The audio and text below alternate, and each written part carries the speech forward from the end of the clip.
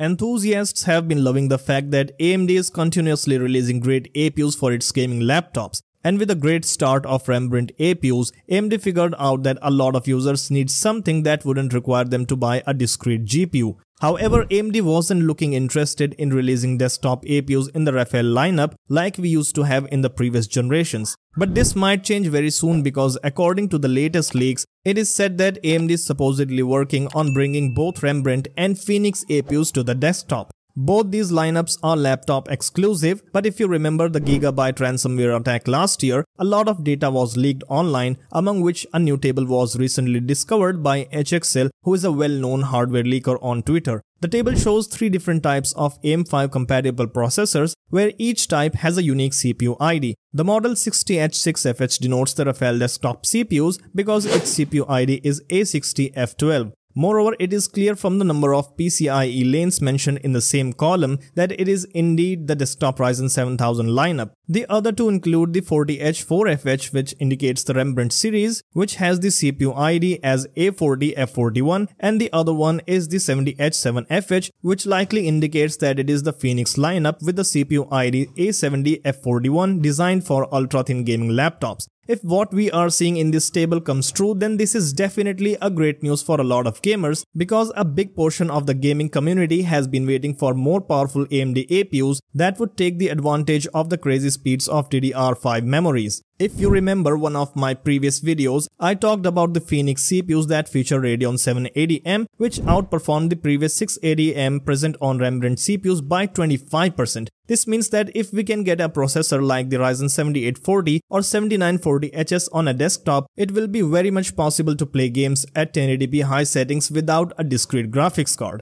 Right now we still await the official announcement from AMD, so you should still consider this leak with a grain of salt.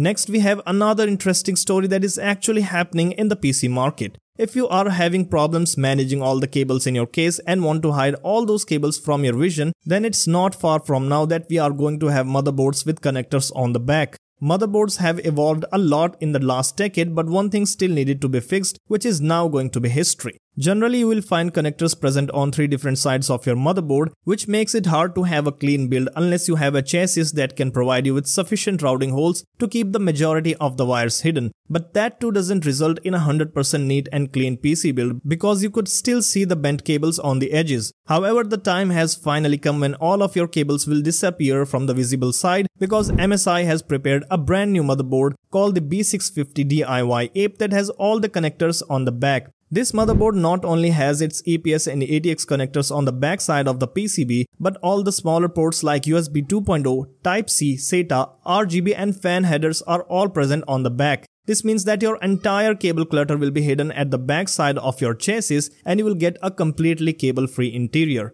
Good news is that MSI is not the only manufacturer that has initiated this step because Asus has already joined the race a few days ago by making the B760M BTF motherboard that has all of its connectors at the back. Similarly, we have MaxSun which also made the DIY Ape H610 King which is an all-white mini ITX motherboard with all the ports on the back. Now one thing you may be wondering how on earth you are going to install it in your standard chassis because these ports are present on the edges of the PCB and almost all cases have a motherboard plate that would not allow installing a motherboard like this. Well, these motherboards require cases that have routing holes present nearer than we normally have in our cases. This means that the cases we currently own won't natively support these motherboards and you will have to get compatible cases that are currently available from Asus and Sama. Although it will take some time to standardize these boards for the common market, it won't require a lot of effort from PC case manufacturers because they don't need to change their case design completely and a simple tweak of changing the routing holes positions would do the job. However, this would also require some of the cases to have more clearance at the back because it's not going to be easy to close the back panel. I'm sure some people will still find a way to fit these motherboards into the standard ATX cases because all you need to do is cut out some extra holes in your motherboard plate and you are good to go. I think this would be a nice revolution in the PC hardware industry and most PC builders are already looking happy with this decision. I also want to know your thoughts about this in the comments below. Let me know if you would prefer a motherboard with connectors on the front or if you would go for the new design. Hit the like button if you found today's stories interesting and subscribe if you are new here. Turn on the notifications to never miss latest hardware stories and I will see you in the next one.